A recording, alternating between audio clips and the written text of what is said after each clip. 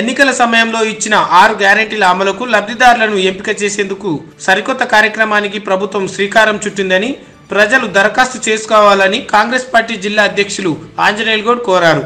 బుధవారం ఏర్పాటు చేసిన విలేకరుల సమావేశంలో ఆయన మాట్లాడుతూ గురువారం నుంచి జనవరి ఆరు వరకు ప్రజాపాలన కార్యక్రమం చేపట్టింది.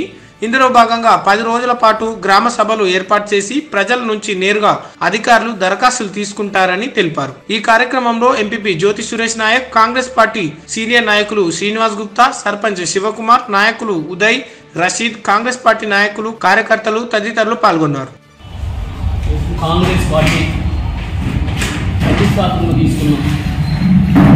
ఆరు గ్యారెంటీస్ అమ్మ సోనియా గాంధీ గారు ప్రకటించి ఆల్రెడీ నేను కూడా ఇంప్లిమెంటేషన్ అయిపోయి ప్రమాణ స్వీకారం చేసిపోతే దాంతో దాంట్లో భాగంగా ఇంకా మిగతా వాటి కోసం కూడా ప్రసక్తి చేస్తూ పారదర్శకత ఖచ్చితంగా ప్రజా పరిపాలన ప్రజల దగ్గరికి పోయి ప్రజల బాగోగులు తెలుసుకొని ప్రజల ద్వారా అప్లికేషన్ తీసుకురావడం జరుగుతుంది. వారికి ఉన్న ఆధార్ కార్డ్ అయితేనేమి రేషన్ కార్డ్ అయితేనేమి ఒక ఫోటో జత చేసి ఇస్తే సరిపోతుంది. అందుకే మేము ప్రజలకు విజ్ఞప్తి చేస్తున్నాం. గ్రామాల్లో ప్రజా పరిపాలన మీ జరగాలని మీ ఆశీర్వాదం కాంగ్రెస్ పార్టీకి ఉండాలని ఇచ్చిన గ్యారంటీ స్కీమ్ను తూచా తప్పకుండా కాంగ్రెస్ పార్టీ నిర్వర్తిస్తుందని దానికోసానికి ప్రజలందరూ సహకరించాలని ఈ పార్టీ ఇంతకుముందు గతంలో ఉన్నట్టుగా కొన్ని వర్గాలకు కాకుండా అన్ని వర్గాలకు పార్టీలకు అతీతంగా అనే అణగారిన వర్గాలకు ముఖ్యంగా ఉపయోగపడే గ్యారంటీ స్కీమ్లను ఈరోజు గౌరవ ముఖ్యమంత్రి గారు అన్న రేవంత్ రెడ్డి గారు ఈరోజు ఇంప్లిమెంటేషన్ చేస్తుంది మా వారి మంత్రివర్గం. దాని ఇంప్లిమెంటేషన్ గురించి ఈరోజు మీ సమావేశాన్ని ఏర్పాటు చేయడం జరిగింది.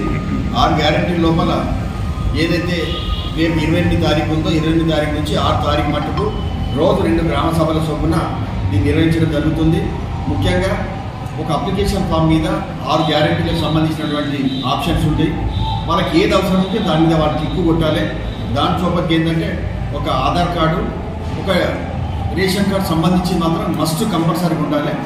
ఎవరైతే ఎలిజిబుల్ ఉన్నారో ఈ గవర్నమెంట్ ఇచ్చినటువంటి ఈ ఆరు గ్యారంటీ లోపల వాళ్ళన్నిటికీ వాళ్ళు సబ్మిట్ చేసుకోవచ్చు వాళ్ళు అప్లై చేసుకోవచ్చు.